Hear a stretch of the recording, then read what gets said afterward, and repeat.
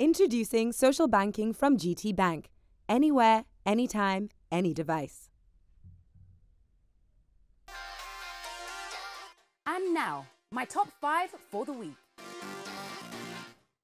Now it's time for my top five. Have you ever been in a relationship where deep down inside you knew that things weren't going to work out? We've all been there, and sometimes it's actually better to let go sooner rather than later.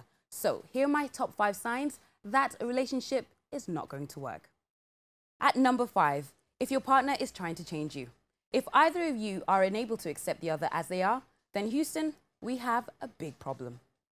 At number four, if you're doing all the work in the relationship. Relationships are all about give and take. But if you find that you're constantly giving, giving, giving, and your partner isn't even meeting you halfway, that is a big sign that there's not going to be a happy ending. At number three, if you can't handle each other during the hard times.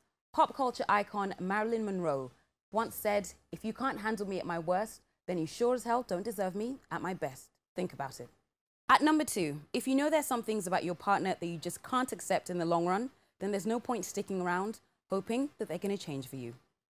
And at number one, if you've already decided that it won't work, sometimes a lot of us get pessimistic and forget about the power of positive thinking. If you've already decided that it won't work out, chances are it probably won't. I'd like to say a big thank you to all my guests today and the Ndani crew. My name is Toolz, and playing us out, we've got the fantastic Emma Nyra. Thank you for watching.